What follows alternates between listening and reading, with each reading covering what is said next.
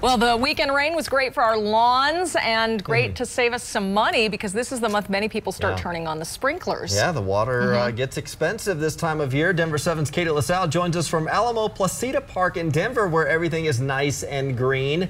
Uh, but if you want your own green space, there are some ways to save so you don't get stuck with a hefty water bill.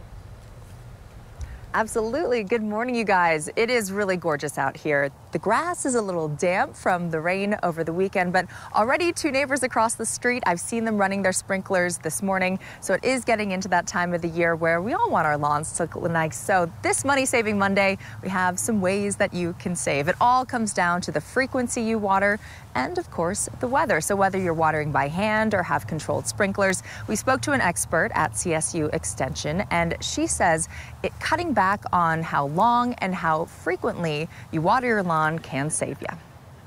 If you're further looking to drop your water bills, maybe look at your total run times. If you're running for 20 minutes on each irrigation zone, drop it to 18.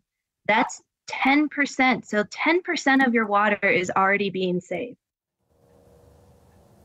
And if you are still watering five days a week or every day, you don't need to do that. Some cities and towns, as we know, limit watering to three days a week You can even consider trying two days. And especially this time of the year in the springtime when temperatures are cooler and we get more moisture from Mother Nature like we did this past weekend, it is a good time to water less. You can always add more water when necessary, especially as it gets hotter and drier through the summer months. And as Lisa mentioned, we are expecting some hotter weather later on this week. So Bottom line, you don't want to be that neighbor who's running the sprinklers when it is currently raining. So just some things to keep in mind mm -hmm. as we get into the warmer and drier months. Back to you.